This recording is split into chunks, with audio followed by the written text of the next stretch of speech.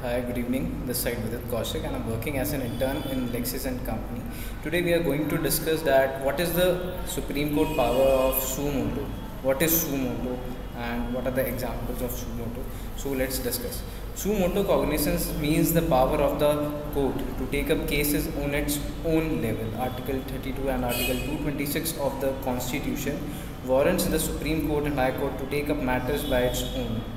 The courts take suo motu cases after receiving information through media or from a third party.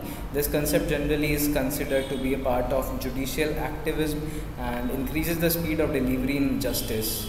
The public interest litigation has widened the scope of judiciary power to intervene in urgent matters in public interest. Suo motu power of the Supreme Constitution is warranted under Article 131 of the Constitution of India. It has ensured that justice will prevail in civil and criminal matters in the following matter, Supreme Court or High Courts can take suo motu cognizance.